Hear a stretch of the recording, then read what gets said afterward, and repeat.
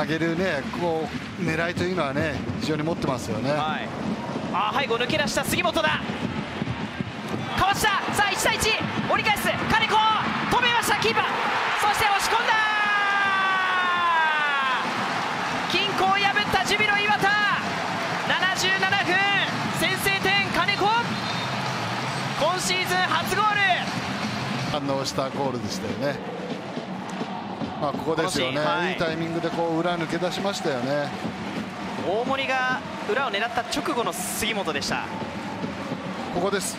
ここですよね。えー、こうシュートのところシュートで終わってもよかったと思うんですよね。えー、その中で金子のところに判断変えましたよね。まあ、大森がこう下がってきたところを杉本が入れ替わるようにねこのスペース入ってきた、まあ、ここでね一つかわした中で金子もここね一発で仕留められませんで